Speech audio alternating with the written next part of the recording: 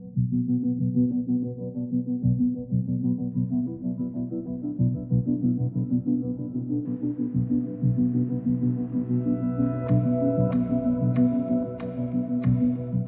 do not yet know the motivation for this crime.